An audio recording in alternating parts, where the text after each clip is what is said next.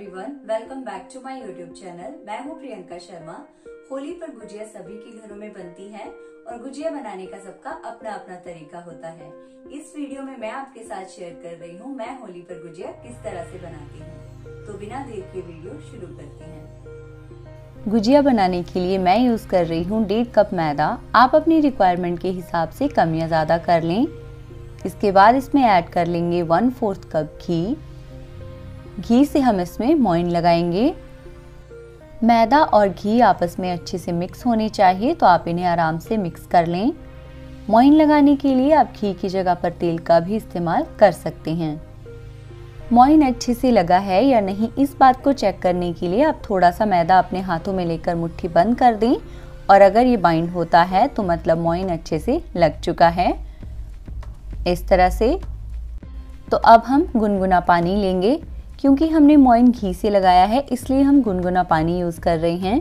थोड़ा थोड़ा करके पानी यूज़ करेंगे, एक साथ सारा पानी यूज़ ना करें। गुजिया बनाने के लिए आटा सख्त चाहिए होता है तो ज़्यादा पानी इस्तेमाल ना करें। अगर आप ज़्यादा पानी इस्तेमाल करते हैं तो आटा सॉफ्ट हो जाता है और गुजिया अच्छी नहीं बन पाती। गुजिया बनाने के लिए आटा बिल्कुल तैयार हो गया है। अब 20 से 25 मिनट तक हम इसे ढककर रख देंगे। इसके बाद हम चलेंगे स्टफिंग बनाने की प्रोसेस में। तो गैस का फ्लेम स्विच ऑन करके मैंने कढ़ाई रख ली है और इसमें डाल देंगे घी। जैसे ही घी गर्म हो जाता है, इसमें ऐड कर लेंगे सूजी।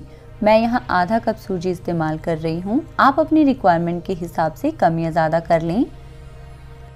सूजी को लगातार चलाते रहेंगे ताकि ये जले ना। गैस का फ्लेम आप मीडियम कर लें और सूजी को गोल्डन ब्राउन होने तक पकने दें। सूजी का कलर गोल्डन ब्राउन हो गया है तो गैस का फ्लेम स्विच ऑफ़ कर लेंगे। अभी कढ़ाई गर्म है तो थोड़ी देर तक लगातार सूजी को चलाते रहेंगे ताकि जले ना। इसके बाद इसमें ऐड कर लेंगे पाउडर शुगर। मैं यहाँ आधा कप पाउडर शुगर यूज़ कर रही हूँ। अब इसे अच्छे से मिक्स कर लेंगे। आप चीनी को थोड़ी देर तक मिक्सर में चला लें और इसका पाउडर तैयार कर लें। जैसे ही ये मिक्स हो जाते हैं, इसमें ऐड कर लेंगे एक कप ग्रेट किया हुआ कोकोनट। और इसे भी अच्छे से मिक्स कर लेंगे। इसमें ऐड कर लेंगे 8 से 10 बारीक कटे हुए काजू 8 से 10 बारीक कटे हुए बादाम और 10 से 15 रेजिन या किशमिश। इन्हें भी अच्छे से मिक्स कर लेंगे। इसके बाद हम मिक्सचर को कढ़ाई से एक मिक्सिंग बोल में ट्रांसफ़र कर लेंगे। आप चाहें तो इंग्रेडिएंट्स को मिक्सिंग बोल में भी मिक्स कर सकते हैं, पर मैंने इन्हें कढ़ाई में ही मिक्स किया है। इसके बाद गैस का फ्लेम स्विच ऑन करके सेम कढ़ाई रख लेंगे और इसमें डाल देंगे मावा। मैंने यहाँ 100 ग्राम मावा यूज़ किया है। आप अपनी रिक्वायरमेंट के हिसाब से कम या ज़्यादा कर लें। मावा को हम थोड़ी देर तक गर्म कर लेंगे ताकि ये सॉफ्ट हो जाए और दूसरे इंग्रेडिएंट्स के साथ अच्छे से मिक्स हो जाए। मावा सॉफ्ट हो गया है तो गैस का फ्लेम स्विच ऑफ़ करके इसे मिक्सिंग बोल में डाल देंगे और मिक्सचर के साथ अच्छे से मिक्स कर लेंगे। इसी के साथ ही हमारी स्टफिंग बनकर बिल्कुल तैयार है तो अब हम चलते हैं गुजिया बनाने की प्रोसेस में। डो को रखे हुए 25 मिनट हो गए हैं तो अब इसे छोटी छोटी लोइयाँ बनाकर तैयार कर लेंगे। जितनी बड़ी लोई हम रोटी बनाने में यूज़ करते हैं, उससे छोटी लोई बनाएँगे। इसी तरह से बाकी बचे हुए आटे की लोइयाँ तैयार कर लेंगे और इन्हें ढक कर रख देंगे। ढक कर रखना बहुत ज़रूरी है, नहीं तो आटा ड्राई हो जाता है। इसके बाद इन्हें बेलना शुरू करेंगे। इससे पहले आप चकले को अच्छे से ग्रीस कर लें। ग्रीस करने के लिए आप तेल या घी का इस्तेमाल कर सकते हैं।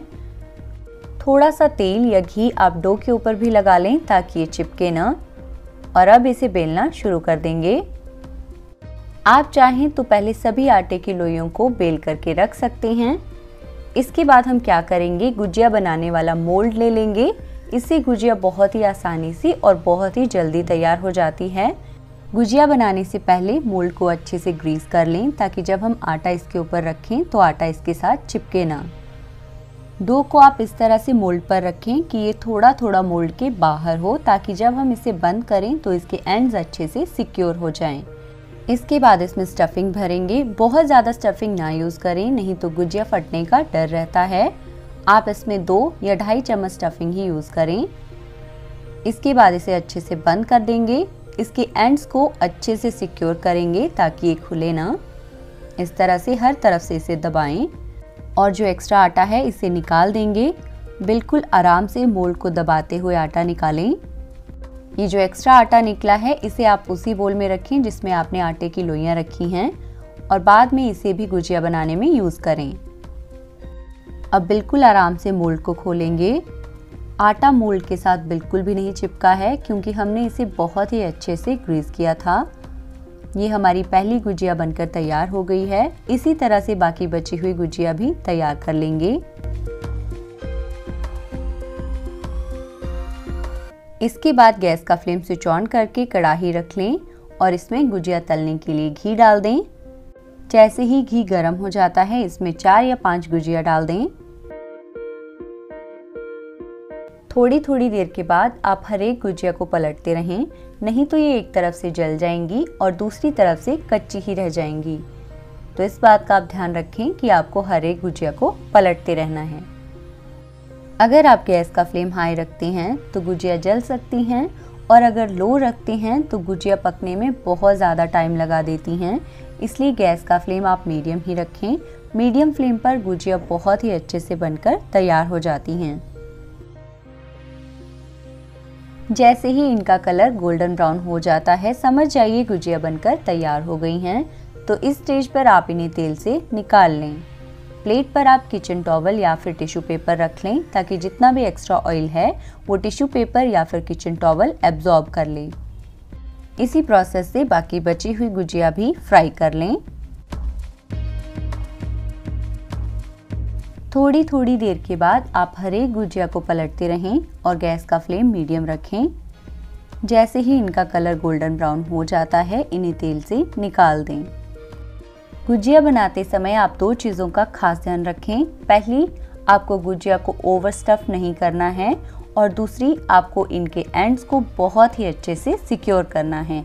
इससे गुजिया नहीं फटती है, बिल्कुल परफेक्ट बनती है।